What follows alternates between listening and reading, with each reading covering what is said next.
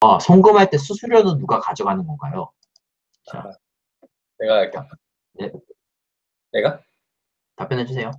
아, 송금할 때는 어, 여러분이 비트코인 비트코인을 주고 한쪽에서 비트코인을 받는다고 한다면은 비트코인의 송금 수수료는 채굴자가 갖고 가게 됩니다.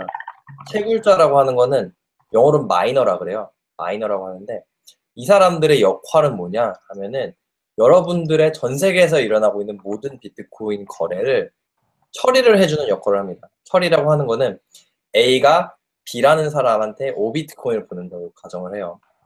그러면은 어, 이 거래가 정당한 건지 우리가 승인을 해줘도 되는 건지 일단은 파악을 하고요. 그 다음에 이 기록을 여기서 블록체인이 나옵니다. 블록체인은 모든 사람들이 공유하는 장부 같은 거예요. 거래 장부예요. 거기다 쓰는 거예요. 그래서 거기다가 쓰는 역할을 하는 사람들이 어, 채굴자예요. 어, 그래서 자기네들의 컴퓨터를 사용을 해서 어, 특화된 채굴에 특화된 칩이 있어요. A6라는 칩이 있는데 어, 그런 칩을 사용해서 엄청난 양의 연산을 돌려서요. 이 거래를 검증을 한 다음에 그거를 단 하나의 전 세계는 비트코인 장부는 단 하나밖에 없어요. 어, 그 장부를 블록체인이라고 하죠. 블록체인에다가 그 거래가 일어난 거를 기록해주는 역할을 하는 사람들이 채굴자예요. 그래서 결국에 수수료는 어떠한 중앙기관도 아닌 예, 중앙기관도 아닌 그 채굴자가 가지고 간다. 이전 시스템이랑 비교해 보시면요. 제가 누구한테 송금을 하게 되면은 어, 중간에서 은행이 카드사라든지 은행들이 그 수수료 갖고 가죠. 중앙기관들이 그거를 해주는데 근데 이제는 가장 큰 특징인 분산화라는 특징이 있기 때문에 어, 채굴자들도 분산이 돼 있어요. 누구나 원하면 채굴을 할 수가 있어요. 이론적으로는. 근데 경제학적으로 힘든 거지 이론적으로 가능하기 때문에 어, 여러분들이 뭐 어디서 어디로 보내든 어, 수수료는 100% 채굴자한테 간다는 거 일단은 알아두시면 좋을 것 같습니다. 요즘 이더리움도 가시는데 비트코인과 이더리움의 가장 큰 차이는 뭔가요? 어, 나 이거, 나 이거 대답하고 싶어. 오케이.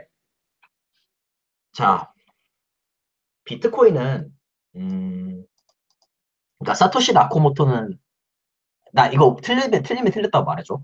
음. 사토시 나코모토는 블록체인 백서를 쓴 게 아니에요. 비트코인 백서를 썼어요. 그래서, 음, 블록체인이라는 개념? 이 비트코인 백서에 적혀 있는데, 이제 그거를 구현을 해서 만들었죠. 그런데 이제 블록체인이라는 것 자체는 뭐, 네, 그 장부, 장부, 그러니까 예를 들어서 이 종이 한 장 한 장이 블록이고 이 종이들이 이렇게 연결되어 있는 부분, 이 체인인데 그 이 이거를 그냥 설명하는 거예요. 블록체인이라는 건. 근데 블록체인이 처음에 나왔을 때 응용이 안 된 상황에서는 그냥 비트코인 정도밖에 안 되는데 이더리움은 사람 많은 사람들이 비트코인 2.0이라고 하거든요. 이더리움의 가장 큰 기능은 스마트 계약서라는 건데, smart contract라는 건데, 그걸 통해서 어, 돈을 프로그래밍을 할 수 있어요. 이게 이거는 진짜 뭐 이건 진짜 새로운 개념이에요. 막 기존에 프로그래밍은 비트코인도 할 수 있어. 어, 할 수 있지. 복잡한 수준의 이제. 어. 네, 진짜 복잡한 수준이에요. 어떤 거냐, 아, 이걸 어떻게, 예를 드는 게 제일, 제일 좋긴 한데, 어, 뭐, 예를 들어서, 어, 예금 계좌를, 지금, 자, 지금, 지금 상황과 비교를 해, 해볼게요. 예를 들어서 내가, 제가 이제 제 딸내미가 있어요. 딸내미가 있는데, 이, 제가 매, 매 달마다 돈이 들어오면, 그 돈의 뭐, 80%를 딸내미를 위해서 통장에 계속 집어넣어요.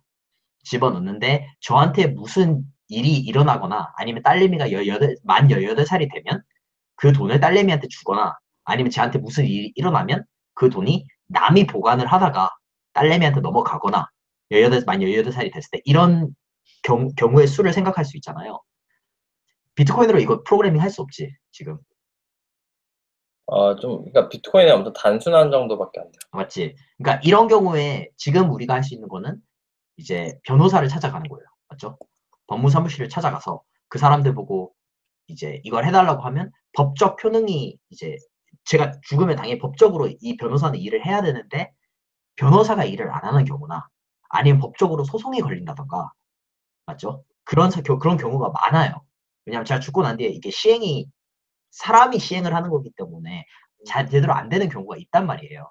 그죠. 하지만 이더리움 같은 경우는 그 화폐를 사용할 때 이거 자체를 코드로 적을 수가 있어요. 이런 조건들을. 그러면 제가 돌아간다고 했을 때, 제가 죽는다고 했을 때 이 모든 게 발행이 돼서 제 뭐 딸내미 이더리움 계좌가 있으면 거기에 돈이 다 18살이 걔가 18살이 되는 순간 다 박힌다던가 그런 식으로 어, 프로, 돈을 프로그래밍을 할 수 있다는 거죠. 네, 그게 가장 큰 차이예요. 지금 단순하게 말씀드렸는데 이거를 음, 이 이더리움의 그 프로그래밍 스마트 계약서를 응용하기 시작하면 진짜 무궁무진한 세상이 네, 보입니다. 네, 또 하나 차이점이 있는 비트코인은 처음에 화폐로 시작했다는 거, 화폐로 시작했는데 화폐를 이제 만들려다 보니까 어, 부가적인 블록체인이라는 시스템을 개발을 하게 된 거예요. 그러니까 화폐를 만드는 과정에서 블록체인 시스템을 개발을 했는데 그 블록체인 시스템이 화폐뿐만 아니라 어, 정말 많은 거에 쓰일 수 있다는 것을 발견을 한 거죠. 이제는 비탈릭 부테린이라 엄청 어린 나이에 천재적인 그 프로그래머가 있는데 그 사람이 지금 개발을 한 건데 어 그래서 뭐 시은이 형이 잘 얘기한 것처럼 정말로 많은 기능들을 복잡한 기능, 이제 튜링 완전성이라고 얘기를 하는데 좀 더 복잡한 수준을 구현을 할 수가 있는 거예요. 그러니까 화폐 같은 경우는 보시면 엄청나게 간단해요. A가 B라는 사람한테 5비트코인을 줬다. B가 C한테 5비트코인을 줬다. 이렇게 쭉 이런 정도만 기록을 하면 된단 말이에요. 근데 이 조건문에 이제 루비라든지 이제 어, 복잡한 것을 하고 싶을 때는 아까 말했다시피 그게 비트코인의 한계가 있어요. 그렇기 때문에 어, 인간이 어- 아까 말했던 smart contract라든지 그런 복잡한 기능을 구현하기 위해서 이제 이더리움이 나온 거고 이더리움이 기본적으로 그렇기 때문에 어, 그러한 것들을 어, 할 수 있게 하는 플랫폼으로 많이 제작이 됐고요. 그래서 이더리움 위에서 많은 프로젝트들이 진행이 되고 있어요. 그래서 뭐 그런 게 좀 다른 거고 어, 기본적으로는 블록체인을 통한 어, 뭐 기록 시스템을 사용한다는 거는 똑같고요. 블록체인의 기록 시스템을 사용한다는 건 똑같고, 어, 가격이 많이 오를 거라는 것도 비슷한 것 같고, 어, 혹시 이걸 잘 뭐, 머릿속에 상상이 잘 안 되시는 분들에 따라서 레고로 말씀드릴게요. 그 레고가 유아들이 가지고 놀고 있는 레고가 있고 이제 초등학생부터 중학생까지 가지고 놀는 레고가 있고 그 테크닉이라고 좀 복잡한 레고가 있잖아요. 근데 결론적으로 이 레고의 그 블럭 크기 크기는 약간씩 다르지만 레고는 끝내 레고예요. 네. 네. 그래서 우리가 어떤 사회에 어떤 문제를 해결하고자 하는가에 따라서 어쩔 때는 비트코인이 비트코인 정답일 수가 있어요. 다른 경우에는 이더리움이 정답일 수 있고. 근데 네, 결국에는 레고라는 거. 그 작은 레고를 사용하면 좀 더 섬세한 거를 만들 수 있겠죠. 그러니까 이더리움 섬세한 거를 만들, 만들기에 되게 적합한 거고 비트코인은 큼직큼직한 큼지막한 거를 만들기에 참 적합해요. 음, 진짜 뭐, 음, 이제 섬세하게 또 컨트롤할 수 있으니까. 어, 질문 하나 더 온 거 말할게. 어, 아, 또 왔어요? 어, 카톡으로 온 건데 비트코인의 기능 중에 전에 비트코인이 집이 될 수 있고 차가 될 수 있다고 하셨잖아요. 제- 내 생각에는 이분이 컬러 코인 컬러 코인 물어보시는 것 같거든. 아, 아, 컬러 코인. 그래. 소유권 하- 등록, 어? 소유권을 등록하는 거? 어, 소유권 등록하는 거. 아, 오케이, 오케이. 내가, 어. 하드포크 하면 이런 기능에 변화가 있나요? 아니면 단, 단순히 현금 가치만 반토막 나고, 나누고, 나, 나는 건가요? 이렇게 물어보셨는데, 자, 어, 자, 컬러 코인이라는 개념이 있는데, 자, 너가 컬러 코인 설명할래?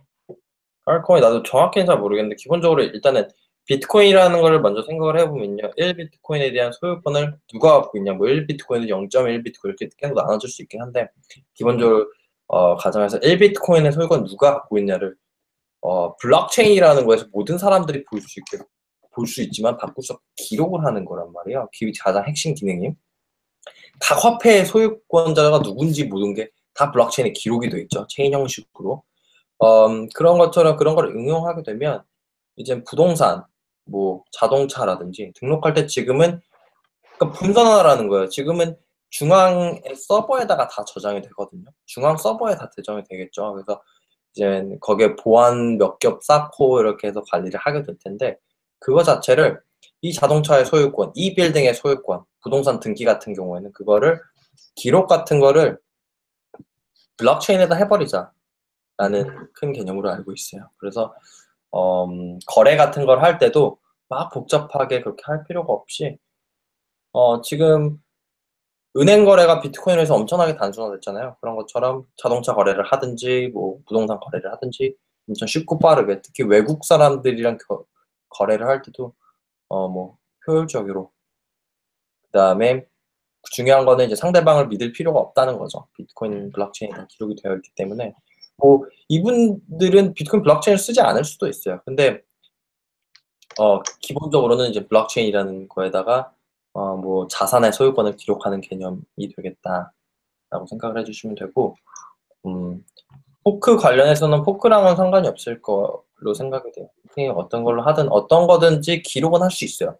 어떤 거든지 기록은 할 수 있기 때문에 어 제가 봤을 때 이번에 포크랑은 뭐 크게 관련이 없고 근데 만약에 이제 사업화를 하시는 분들 입장에서 본다면 어, 좀 생각을 해봐야죠. 왜냐면 자기들이 계속해서 이제 블록, 비트코인 블록체인에다 기록을 뭔가 하고 싶으신 분들이라고 한다면 수수료가 상당히 중요할 거예요. 어, 진짜. 때문에 그 수수료가 얼마나 될지 뭐 두 개 다 이제 제가 봤을 때는 둘 다 수수료를 싸게 하려고 하는 걸로 알고 있어요. 그 수수료를 둘 다 싸게 하는 게 목적이긴 한데 어떻게 할 거냐에서 지금 차이가 있는 거죠.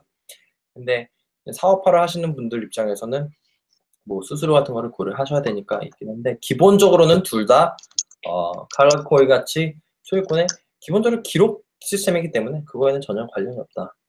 근데 여기서 이제 한 가지 말하고 말씀드리고 싶은 거는 이제 장부라고 했잖아요. 근데 장부가 무엇을 기록하는가에 따라 왜냐하면 코인 종류가 너무 많잖아요. 사실 그런 생각도 해요. 가끔씩은 비트코인하고 이더리움만 있으면 되지 않나. 모든 문제가 해결되지 않나.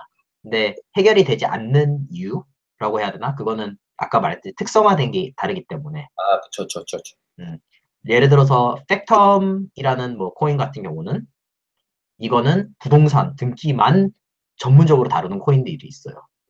예, 거기에 특성화되게 만들어졌고 그렇기 때문에 그 코인 안에 자기 나름대로의 경제적 모델이 있고 부동산의 특적 특, 그 부, 동산의 특, 어, 특, 특성 특성을 최대한 살린 그리고 뭐 예를 들어서 그 저가치 증권 그거를 블록체인 위에다 올려놓는 거는 거기에 또 나름대로 특징이 있고요. 그렇죠. 이게 그래서 네. 말해 말해.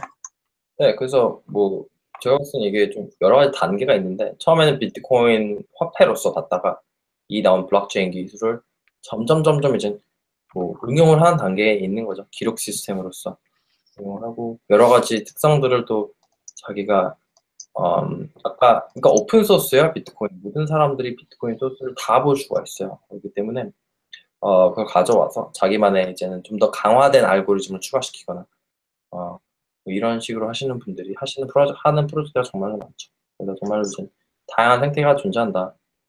거고 칼라코인 같은 경우도 fork랑은 관련이 없다. 네. 만약에 질문하셨는데 저희가 모르면 리서치를 해야죠. 네, 리서치에서 최대한 빨리 답변을 알려드리도록 하겠습니다. 다음 시간까지 그 다음 시간까지 하고. 자, 그러면 제 생각에는 이제 질문이 없으신 것 같은데 그러면 이맘쯤에서 저희는 이제 물러가고 네, 일주일 동안 열심히 공부하시고 저희가 올리는 자료도 열심히 봐주시고 구독, likes 구독해주시고 그리고 페이스북 저기 밑에 링크 링크 넣었는데 블록체인어즈 구독해주세요.